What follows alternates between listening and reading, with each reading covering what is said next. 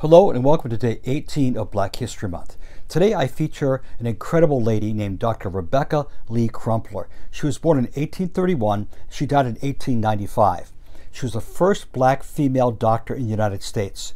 She attended the prestigious Massachusetts private school and then went on to West Newton English Classical School. She served as a nurse for eight years before becoming a doctor after attending the New England Female uh, Medical College.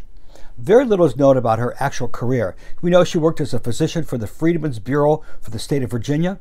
Then she went on, and she later practiced in Boston's predominantly black neighborhood called Beacon Hill. We know also that she published a book called Medical Discourses in two volumes. Let me tell you about the amazing thing about this lady. She accomplished a great deal in days where black people could not and women certainly could not. So today, look at this woman who goes beyond her boundaries and do the same.